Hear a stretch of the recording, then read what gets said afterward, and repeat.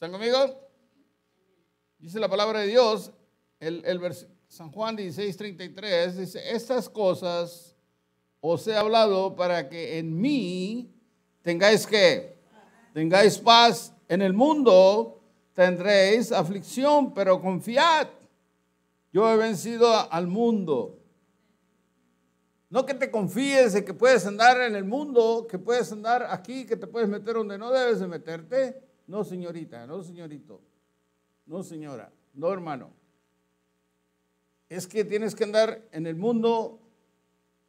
Tú trabajas con gente mundana. No trabajas con puros cristianos. Trabaja con gente mundana, usted que hablar malas palabras. Nomás que no se te pegue. Hello. Sí, esas cosas os he hablado, esas cosas que nos ha hablado el Señor es para que tengas paz, para que tengamos paz. ¿A quién no le gusta tener paz? No sé qué es eso. Bueno, pues búscala. Y síguela, dice la Biblia. Amén. El mundo ofrece aflicción, te lo está hablando el Señor Jesucristo. Y cada uno de nosotros vamos a escoger qué es lo que mejor nos parece. ¿Verdad que sí? Todos tenemos libre albedrío de, de escoger guerra, de escoger la paz o de escoger la aflicción. Amén. Cada uno como individuos disponemos de, de, que Dios nos dejó hacer nuestra propia decisión. Tú decidiste seguir al Señor, pero a medias no sirve. A medias no sirve. Tienes que seguirle completamente 100%. Pero es que usted no sabe, pastor, yo sé. I know what it is. Yo sé estar enfermo. Yo sé lo que es, pagar renta. Yo sé lo que es trabajar.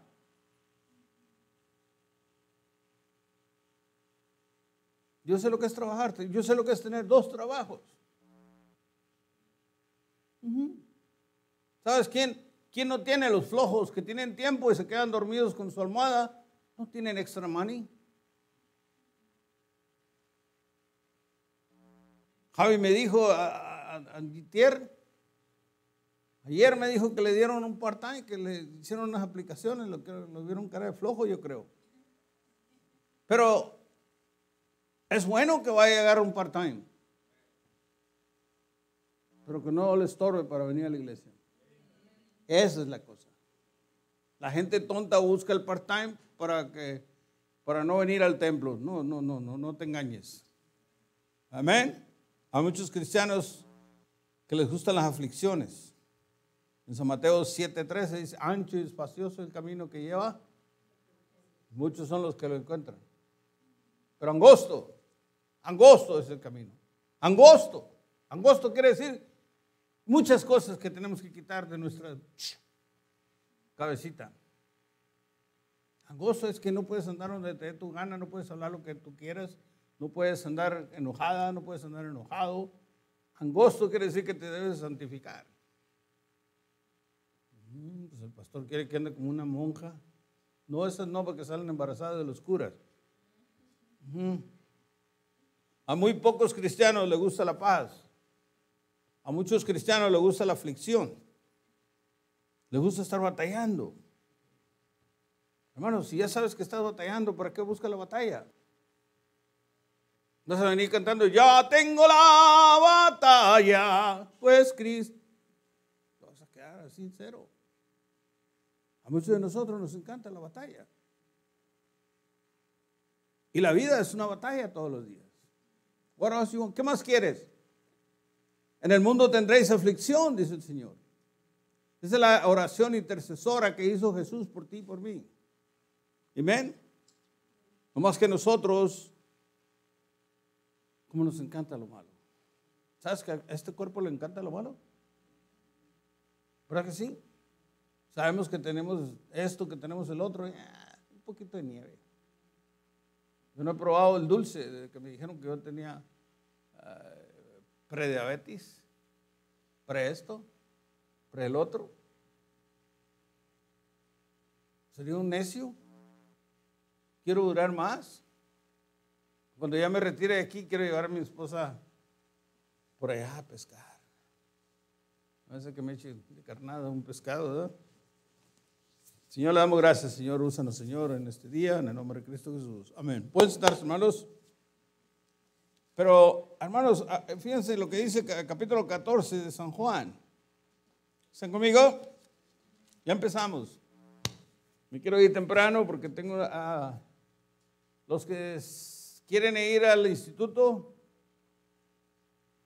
Quiero una junta con ustedes hoy en mi oficina. En cuanto se acabe, porque me quiero ir pronto porque traigo hambre. Hello. Damas y caballeros. Los que, los que tenían pensado ir, los que ya, ya decidieron que no, ni vengas, vete a comer mejor. Porque vengas temprano en la tarde. Así, ¿verdad? Dice el capítulo 14 de San Juan, versículo 27, la paz os dejo, mi paz que os doy. Yo no os la doy como el mundo la da. No se turbe vuestro corazón ni tenga miedo. Ese es el problema de nosotros, hermanos, que Dios ya oró la, oración intercesora por ti y por mí. A veces nos confiamos. El Señor te dijo, yo te voy a dar la paz. El mundo no te la va a dar. Y ahí vamos de terco a ver qué onda, qué me dijo mi tía. A ver qué, qué pasó. Mira, a las gentes que no vienen, ni les digas que, quién habló, qué habló, qué dijo el pastor. Que vengan mejor a equiparse. No hablo de mí, ¿qué, qué vas a hablar de ti? Yo no sé ni quién eres. Amén. La paz os dejo, mi paz os doy. Pero dice el contexto, yo no os la doy como el mundo la da. Y muchos cristianos prefieren la paz del mundo. Amén. Prefieren la paz del mundo. Fíjense lo que dice San Mateo 13. 13, 24, a ver si lo hallo. Tengo mi Biblia nueva. Ya la estoy acostumbrando.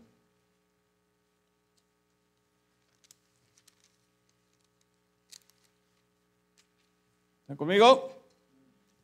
Capítulo 13 de San Mateo, versículo 24.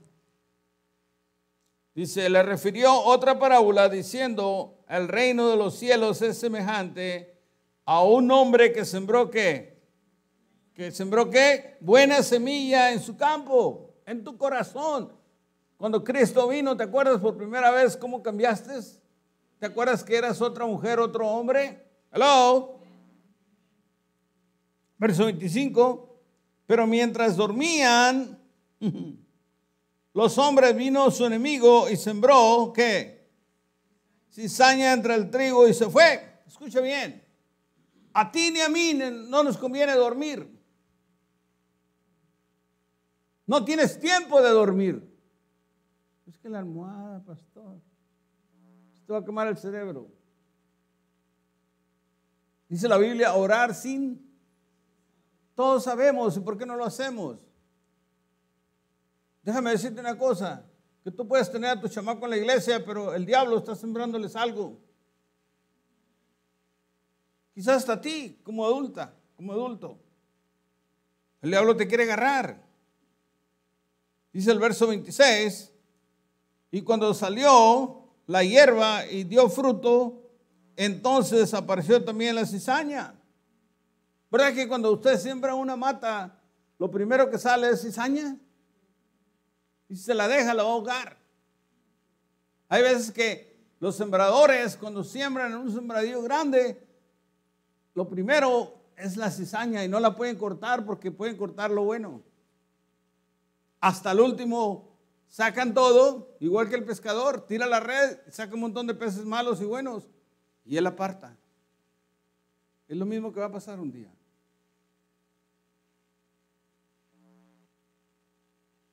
Muchos de nosotros no lo creemos. No queremos creer. Amén. Verso 27 dice, vino entonces, vinieron entonces los siervos del padre de, familia y le dijeron, Señor, ¿no sembraste buena semilla en tu campo? ¿De dónde pues tiene esta cizaña? Y es lo mismo que puedes preguntar. Hay cristianos que vienen a las iglesias, que van a las iglesias, y de repente los miras peores como llegaron. Hello. Lo ves peores, o a veces nosotros estamos peores, a veces dentro de la iglesia, aunque estemos en la iglesia, hacemos las cosas en la iglesia, pero estamos peores a veces que los mundanos. Hello.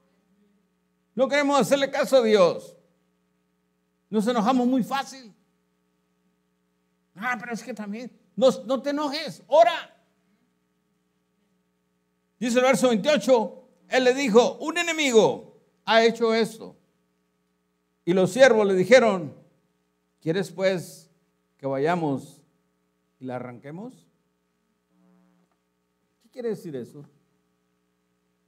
Fíjate lo que dice el verso 29. Él les dijo, no, no sea que al, arrancar la cizaña arranquéis también el trigo.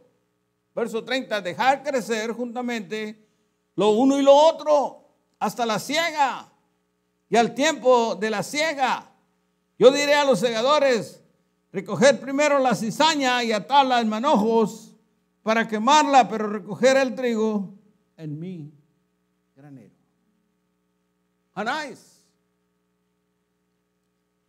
Aquí lo que veo es gentes mundanas diciéndose que son cristianos, yendo a una iglesia cristiana y haciendo lo que hace la cizaña, envenenando, tratando de envenenar al trigo. Y, desafortunadamente, aunque tú los conozcas y los veas, no los puedes sacar de la iglesia. El único que se va a encargar de sacarlos es Dios. Y si tú estás agarrando cizaña y estás dejando que entre la cizaña y te ahogue el trigo, la buena semilla que plantó Dios hace muchos años en tu vida, la va a ahogar. Hello? ¿Hay alguien aquí? No me mueva la cabeza. Dígame. Es posible que entró cizaña en tus hijos y hoy estás batallando para traerlos al templo. Hello, es posible que tú estás haciendo cosas que no te importa lo que diga Dios, tienes que pagar. Estás metiendo cizaña en tu esposa, en ti. Estás metiendo basura en tu casa. And you don't care right now. Later on. Later on va a pesar. ¿Cómo puedo meter yo basura a mi casa? Yo, ¿Usted sabe cómo puede meter basura en su casa? Hay gente que se pone a hablar de la iglesia delante de los chamacos, ten cuidado. Esos que están viendo la televisión allá, que me van a ver en YouTube, ten cuidado qué es lo que hablas delante de tus hijos de la iglesia, del pastor. Tú vas a dar cuentas. Cada uno vamos a dar cuentas. La gente no piensa que un día va a estar en el tribunal de Cristo. Por naturaleza a nosotros nos gusta lo malo. Amén. Fíjense lo que dice 2 Corintios, capítulo 13.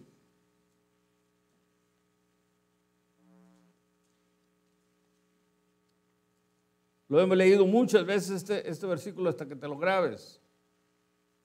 ¿Por qué, pastor? Ok. 13.5 es, dije. Alguien que me lo lea con voz alta.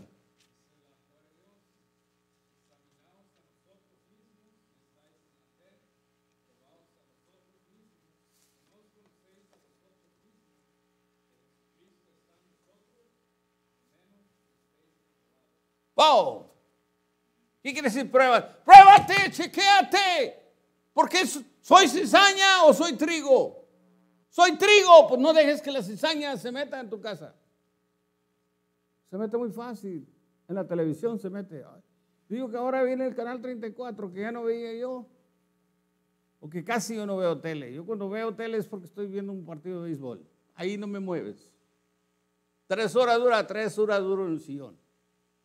Pero si tengo que venir a la iglesia, vengo a la iglesia primero. ¿Están entendiendo? Eso no me, no me quita, ese no es mi Dios ya, el béisbol. Porque alguien me preguntó, ¿y usted es fanático de quién? De Cristo. ¿Ya no es Chiva? Ahora soy Chiva, le digo, que ya no, ya no, ya no fumo. Así le llaman a los que ya no fuman, ¿verdad? Eres Chiva, ¿verdad? ¿Se acuerdan? Esos que hablaban calor, porque eso es lo que decían en Tijuana. Que ya te hiciste Chiva, vato. Sí, bueno. A mí se Chiva y a mí se cristiano. Ahora soy oveja. ¿Mm? A muchos que les da vergüenza. ¿no? ¿Cómo voy a decirles que soy cristiana? ¡Wow! Investiga bien quién eres. San Juan capítulo 17. Escucha, cuando usted habla o viste o se expresa como cristiano o cristiana, el mundo te va a aborrecer. Amén. Cuando usted habla o viste o se expresa como cristiana o oras por los alimentos delante de un mundano, te va a decir, hipócrita. Si hace rato venía así, venía así. Y dice que nosotros, las mundanas, y que no nos debemos de vestir así, se viste igual. Hello. ¿Duele? Se quedó todo el mundo callado. ¿Por qué? No me veas así, investiga quién eres. Revisa como, como, examínate bien a ver si estás aprobado o reprobado. Necesitamos eso. San Juan 17, versículo 14 al 24. ¿Están conmigo? Yo les he dado, esta es la oración intercesora del Señor. Yo les he dado tu palabra y el mundo los que los aborreció porque no son del mundo, como tampoco yo soy del mundo. Cuando tú empiezas a hablar de Cristo, la gente te va a aborrecer como lo aborreció a Él. Si el mundo no te aborrece es porque tú estás trabajando con el mundo bien. Verso 15 dice, no ruego que los quites del mundo, sino que los guardes de qué? Cristo ya oró por ti, ya te quiere guardar del mal, pero tú y yo no lo dejamos a veces. ¿Cómo, pastor? Sí, no me dé baño de pureza a mí. A veces que somos así, somos esa. No nomás el pastor es corajudo. Y qué bueno que yo no soy ni la milésima parte como era antes yo. Verso 16. No son del mundo como tampoco yo soy del mundo. Verso 17. Santifícalos. ¿En tu qué? Tu palabra es verdad. ¿Qué es verdad? La palabra de Cristo. ¿Cada cuándo la lees? ¿Por qué no la lees si es la verdad? ¿Por qué prefieres estar en el cochinero ese de Facebook, porquerías que sabes que te hace daño, ¿por qué no usas la verdad mejor? Aquellos tontos judíos le dijo el Señor, cuando eh, aceptan al Señor conocerás la verdad y la verdad os hará libres. No queremos ser libres. ¿De qué? De pecado, de condenación. Sí queremos ir al cielo, pero no queremos hacer las cosas que Dios nos manda. Amén. Por eso trae la cara desvelado. ¿Por qué tienes que andar haciendo a la una de la mañana viendo televisión con tus hijos ahí? Un cristiano no tiene que estar haciendo a las 12 de la noche. Usted apague la televisión, duérmase que se duerma a las diez y media. Más tardar, menos que te pongas a orar con ellos. Y voy a seguir hablando del devocional. Ojalá y les hayan hablado del devocional allá. ¿Hablaron acerca de eso un poco? Yo prediqué con ese muchacho allá en Perú, Carlos. Carlos se llama, mencionó. Flaco. Es necesario que tengas devocional. Pero que lo vivas el devocional. No nomás que lo tenga nomás por tenerlo. Sí, pastor. Ahí después. All right. That's good for me. Dice el verso 20. Mas no ruego solamente por estos, sino también por los que han de venir y creer en mí por la palabra de ellos. Pregúntate, ¿quién cree por lo que yo soy? ¿Quién cree en el Señor por lo que yo les digo? ¿Qué tanto hace que no gano una alma? Yo doy el diezmo. es parte de tu oración, adoración. Pero ¿qué tanto hace que tú no puedes darle un testimonio limpio a una persona para que me gusta como eres, que te diga? No se oye, se quedó muy serio aquí, ¿verdad? Hello. ¿No hay nadie? Bueno, buenos días. Dice, mas no ruego solamente por estos, sino también por los que han de venir de creer en mí por la palabra de ellos. ¿Cuántas veces salimos sábados y tras sábados y te cansas? Te cansas. Está haciendo calor, está haciendo frío, tienes hambre. Levántate de y cómete unos huevos estrellados como yo. Si no vienes apurada, apurado. Hello. Es que el niño tiene hambre, dale de comer. Es que esto, no. Tu Señor escupieron por ti y por mí. Él no pensó si estaba haciendo calor o frío. Él lo azotaron por ti. Porque tú no puedes hacer una cosa nomás, aunque sea cada sábado. Él te da tu cheque. Ah, que sabe cuando nos da el cheque, da el Señor, ¿verdad? Nice. Pero cuando te lo quita,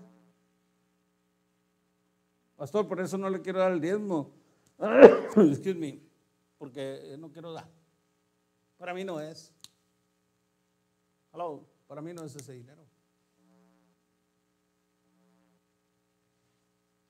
Verso 22, voy a, voy a cruzarme. La gloria que me diste yo les he dado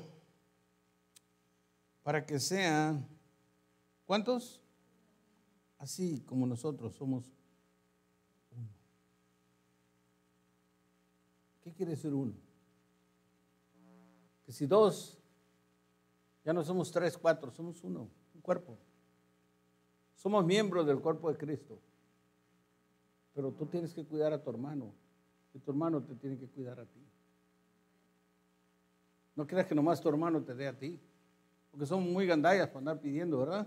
Quiero que mi hermano me dé a mí, pero cuando tu hermano necesita, ¿por qué no le das? ¿Mm? ¿Aló? ¿Verdad que cuando tenemos una necesidad, queremos escarbar, queremos tocar puertas, queremos, ponemos a la cara pálida así? Ay, pobrecito el hermano anda, anda con hambre. Y ya nomás le dan y... Pero cuando el otro tiene la cara de, muerto de hambre, te da media vuelta y hay que se les arregle como pueda. Se supone que somos uno. Se supone que si tu, tu ojo te duele, te debe doler tu oreja. Se supone que si te duele tu oreja, te debe doler el pie. who cares? Que no coma. Pero es que el pastor, el pastor gana bien y que ¿Cómo sabes tú? Cada vez que le traemos al pastor un montón de problemas, no sabes si el, problema, el pastor está peor que tú, lleno de problemas. Claro, pues eso estoy, tengo que aguantar. ¿Y tú por qué no aguantas?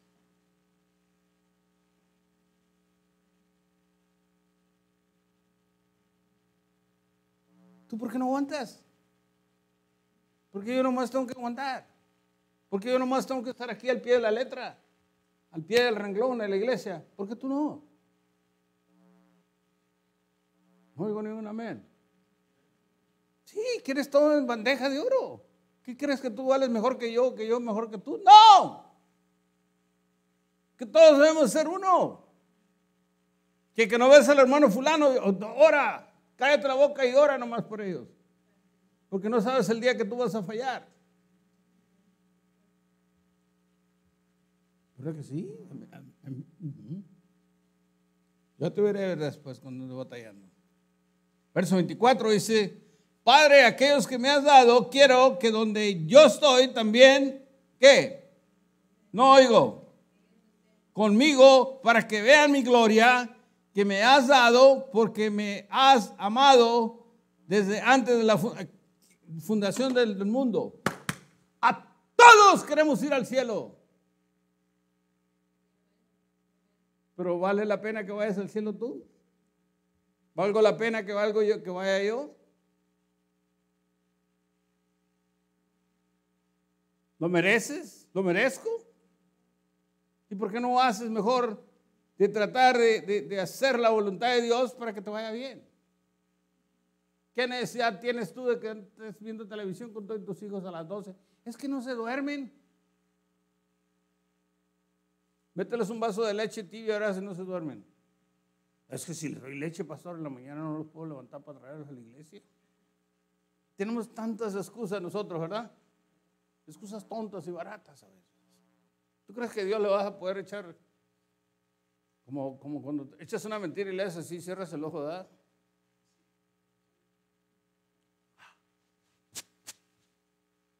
Que, que pero recuerdo cuando yo le echaba mentiras a mi madre. Me decía santo y no hijo de no sé qué, hijo de no sé, me decía mi mamá sana, que no sana para allá, sana para allá, sana para allá. ¿Tú crees que a mí me vas a mentir? Me decía. No sé cómo sabía. Ahora, ¿tú crees que le vas a mentir al pastor? Aunque le mandes texto, ya sé que tu texto es mentira. Hasta ahí, ahí eh, leo el texto y está brincando de mentiras. Sí, a veces me va, pastor, fíjese que yo, pastor, el texto está brincando todavía de, mentira.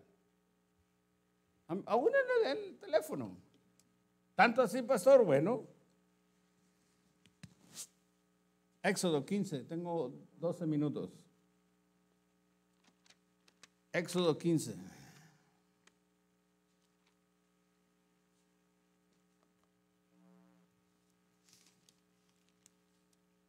Escucha las aflicciones que Dios te manda, te, las manda para que aprendas. Hello. Las aflicciones, las enfermedades, las cosas difíciles que Dios te manda es para que aprendas. Y seas una cristiana con más poder que confíes en Dios. Nosotros confiamos en Dios cuando tenemos dinero. Nosotros tenemos, confiamos en Dios cuando nos da para la renta. Nosotros confiamos en Dios cuando tenemos carro. Nosotros confiamos en Dios cuando tenemos gasolina. Nosotros confiamos en Dios cuando hay comida. Tú puedes decir, Dios dio, Dios quitó. Mm. Somos tan e-, egoístas que ya cuando Dios te quita y dice, dame eso por acá. No entiendes. Y empezamos a repelar así como la niña esa que anda gritando.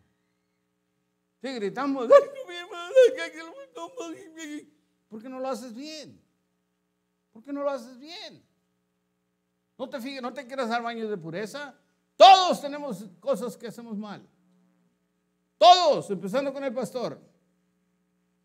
Capítulo 15 de Éxodo. ¿Está conmigo? Dice el verso 22, e hizo Moisés que partiesen, que partiese Israel, ¿de, ¿de dónde? Del Mar Rojo y salieron al desierto de Sur y anduvieron tres días por el desierto sin qué? Sin hallar agua.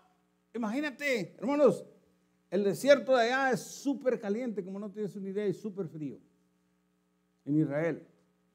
Ahora ellos salieron del Mar Rojo, donde se abrió.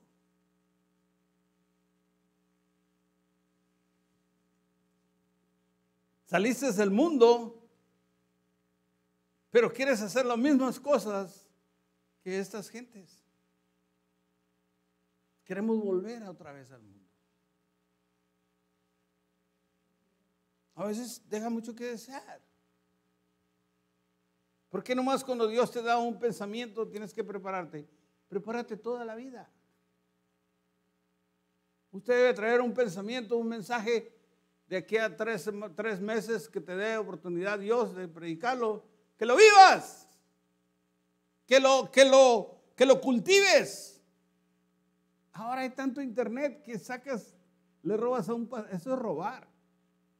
Que robes mensajes a otro hombre. Eso es flojera. ¿Aló?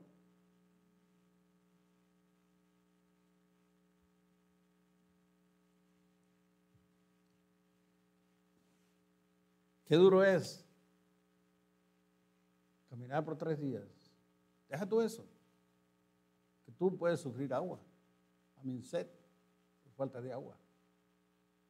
¿Estamos de acuerdo? Usted como adulto, adulta, puede sufrir los tres días. Puede sobrevivir. El cuerpo te pide water porque somos tres cuartas partes de agua. Pero tus hijos no.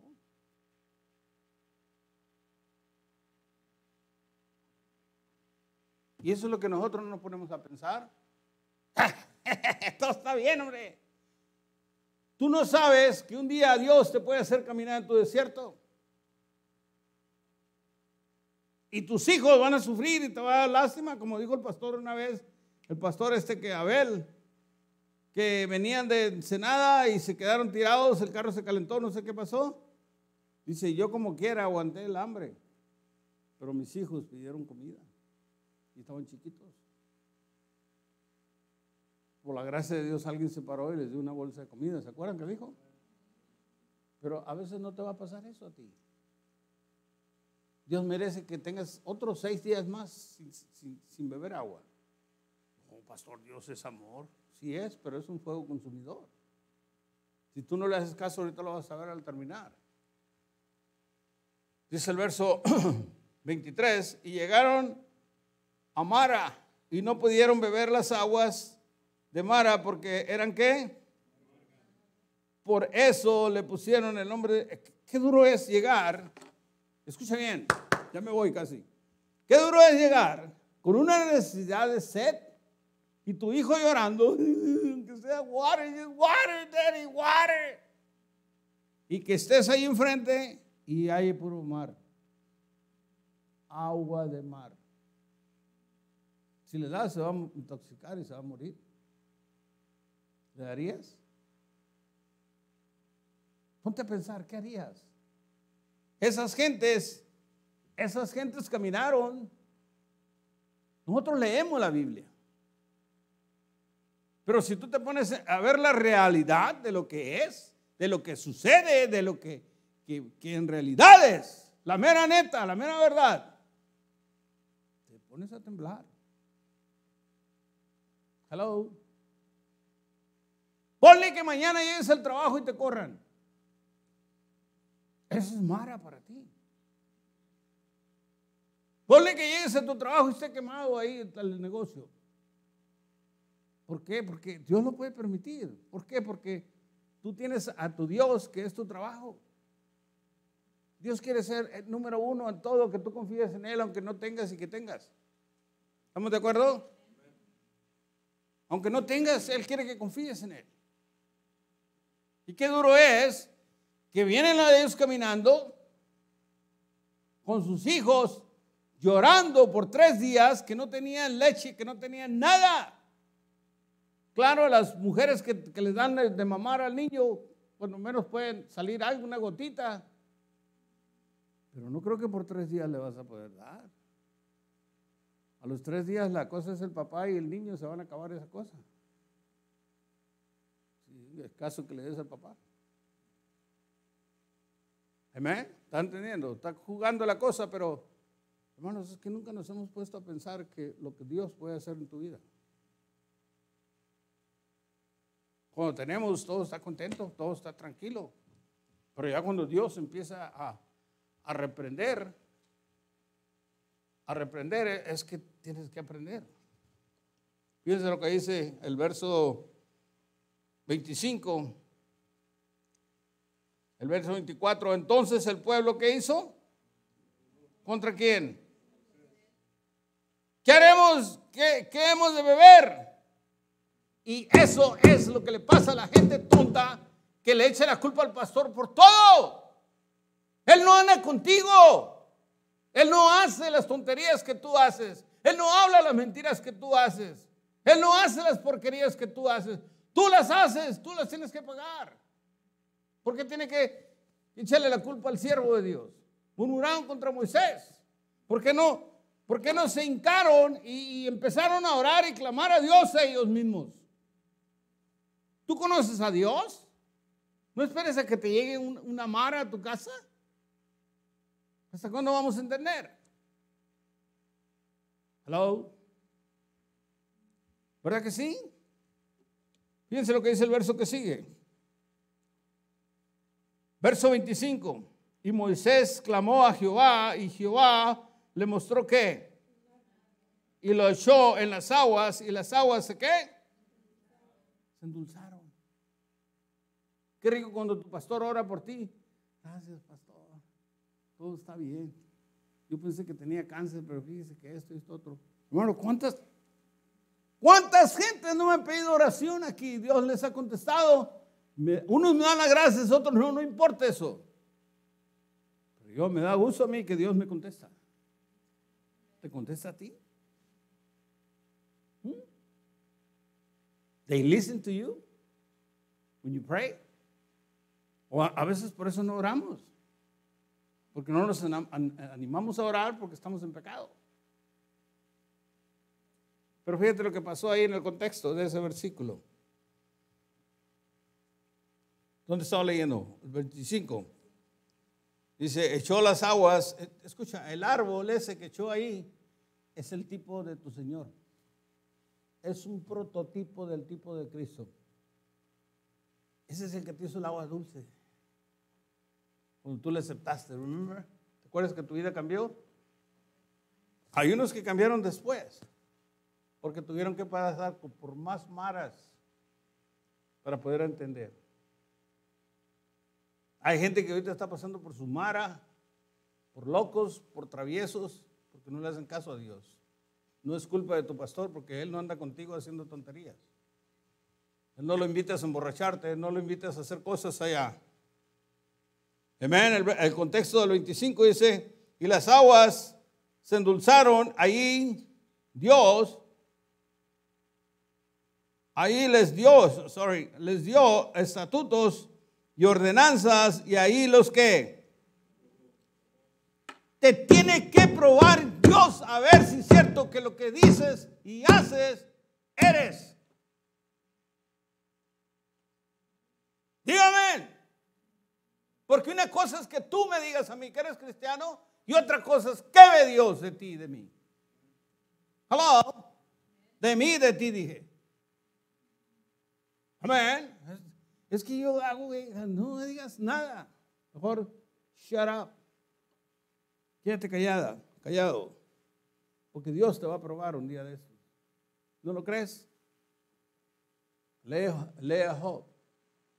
A Job le quitó todo el día, Señor. Hay que vivir un día a la vez. No te van a gloriar con lo que tienes ahorita. Antes yo tenía, no tenía eso. Bueno, puede volver otra vez tú antes. Hello. ¿Puede volver tú antes? No, no lo creo. ok. Verso 26. Y dijo, si oyeres atentamente la voz, ¿de quién? Tu Dios, e hicieres lo que? Lo recto delante de sus ojos, y dieres oído a sus mandamientos, y guardares todos sus estatutos, ninguna enfermedad de las que envié a los egipcios te enviaré a ti, porque yo soy Jehová tú. ¿Verdad que a veces buscamos a Jehová solamente para que nos sane?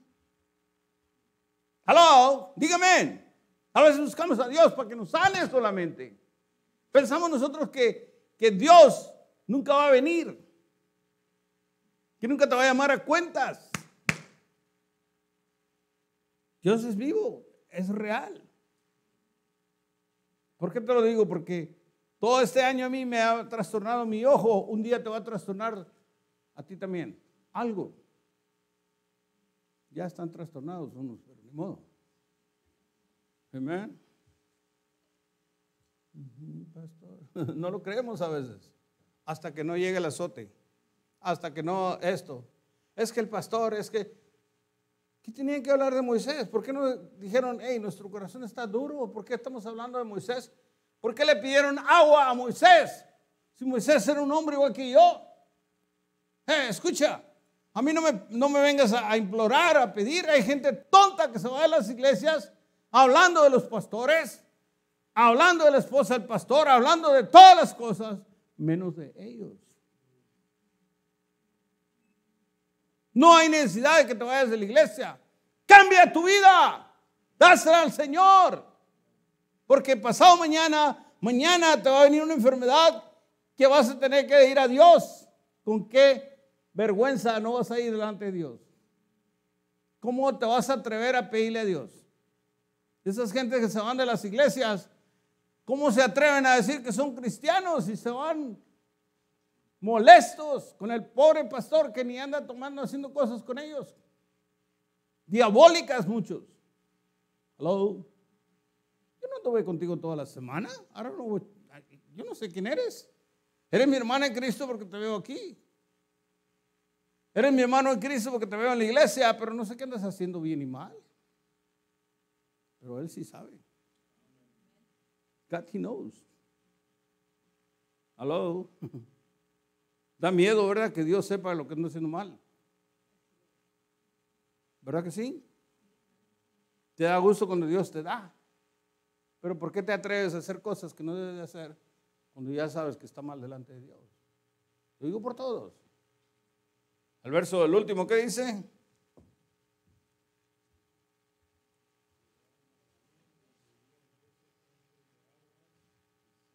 Dice la palabra de Dios, y llegaron a Elim, donde había doce fuentes de agua, setenta palmeras, y acamparon ahí junto a las aguas.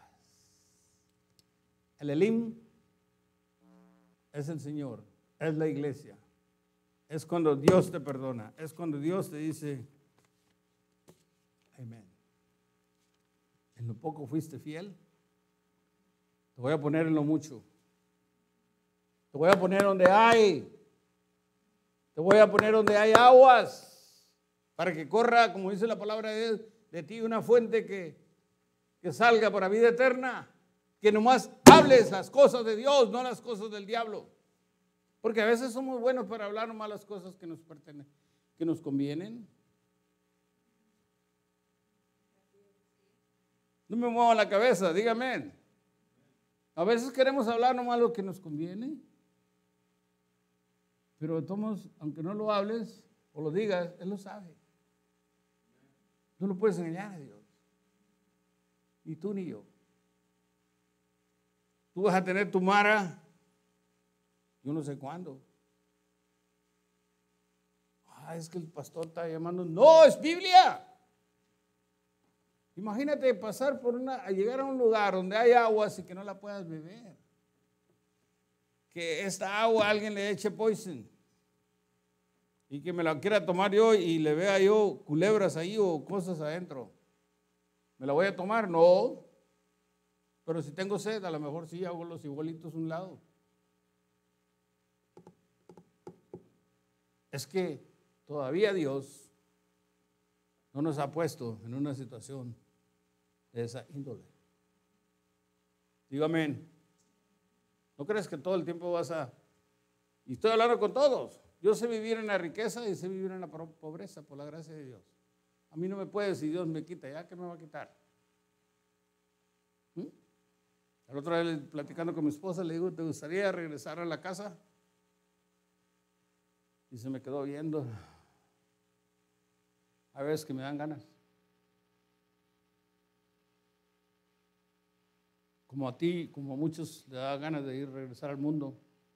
Y el mundo te invita regreses a ellos. Y es lo más fácil que puede haber ir al mundo. Sin pensar que Dios te puede reprender bien feo un día.